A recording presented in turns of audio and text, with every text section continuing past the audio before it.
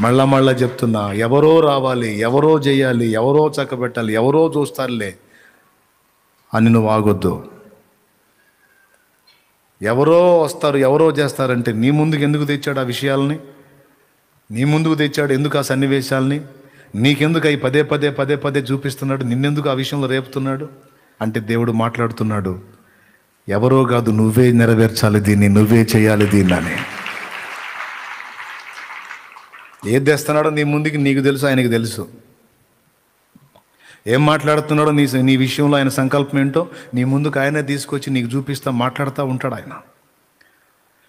నీవు అనుకుంటావు చాలామంది ఉన్నారు చాలామంది ఉన్నారు చాలామంది ఉన్నారని. దావిది అనుకోలేదే.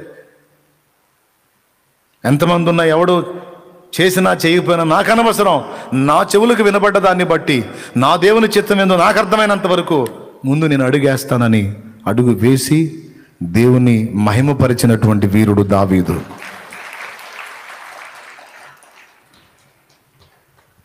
భక్తులందరూ అలా పూనుకొని నడుంగట్టిన వాళ్ళే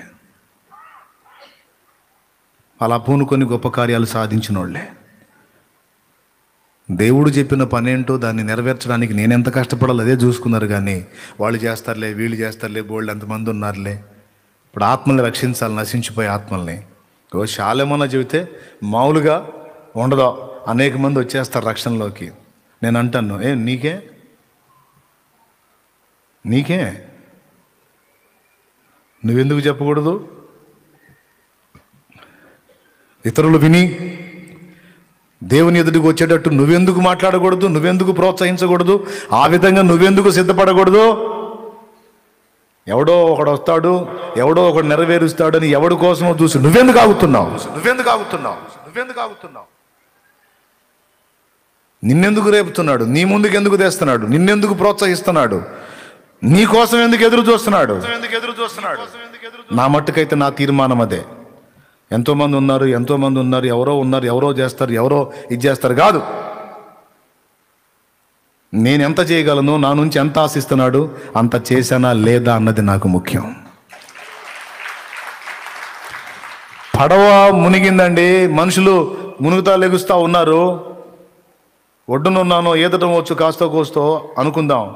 ఎంతమందిని అవకాశం ఉంటే అంతమందిని లాగి ఒడ్డునేయాలి కానీ ఇక అక్కడ మెచ్చుకున్నారా తిడుతున్నారా లేకపోతే మిగిలిన వాళ్ళు వచ్చి వాళ్ళు కాపాడుతారా వీళ్ళు చూసుకుంటారా ఎంత కాదో. నా చేతనైనంత మట్టుకు నేను ఎంతమందిని లాగి ఒడ్డుకేసాను అన్నదే ముఖ్యం. జస్ట్ ఒక ఒక పాయింట్లో ఎగ్జాంపుల్ అది అంతే ప్రతి విషయంలో నువ్వు ఇలానే ఆలోచించుకోవాలి. నువ్వు ఒంటరివి నీకు దేవుడు ఒక్కడే తోడు. మర్చిపోవద్దు ఈ మాట. దేవుడు ఒక్కడే నీకు తోడు. వెనకడుగు వేయొద్దు. పిలిచినవాడు నమ్మదగినవాడు. అభిషేకించినవాడు ఆయనే. నిన్ను ఎంతోమంది అని ఉండొచ్చు నీ ముఖం మీద చెవిడి ఎందుకురా నీ జన్మ? రే ఎందుకురా నువ్వు పుట్టావు? ఎందుకు ఎందుకు పుట్టావు నువ్వు? ఏయ్ ఎందుకు పుట్టావే నువ్వు? అని అని ఉండొచ్చు.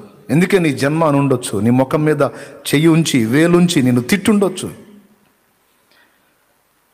రకరకాల జంతువులు చూపించి నువ్వు బతుకుతున్నావు ఆ జంతువు బతుకుతున్నా అని ఉండొచ్చు. ఆ నోళ్ళన్నీ మూతబడినట్లు.